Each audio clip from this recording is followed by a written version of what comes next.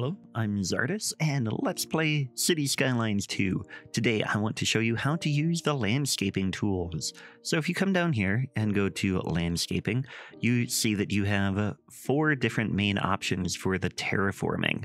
And so we're going to shift the terrain that, as it says, elevates or lowers. What you want to do is left click to raise and right click to lower. So you can do a lot with that. Then you can do level terrain. And what you want to do is right click at a height that you want and then left click to level. Then soften terrain, you can just left click with that and that softens things. Uh, you can also see with this button here, it shows the contour lines. So you can see where the slopes are and things like that. Then slope terrain tool, what you want to do is pick a height and let's get something up high here and then you can right click on the high point of that like that. And then you can left click and then it will build a smooth slope to that. So that is how you use the terraforming.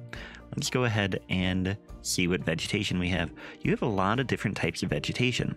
You can change the style too to get a little bit different trees there are European trees, there are North American trees, and you can change back and forth.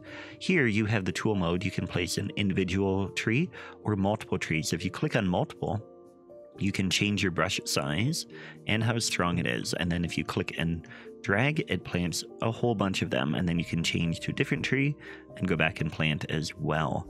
If you right click, it will remove the trees of that type. You can see they're coming out like that.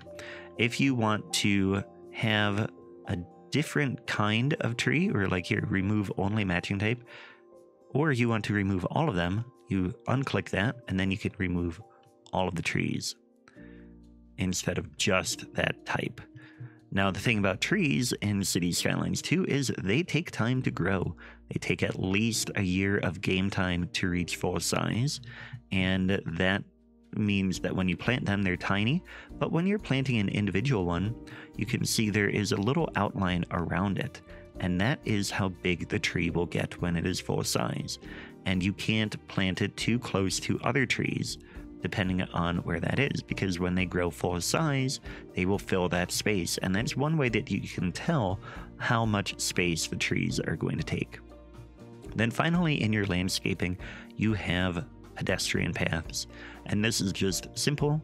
It's just like building roads. You have different tools.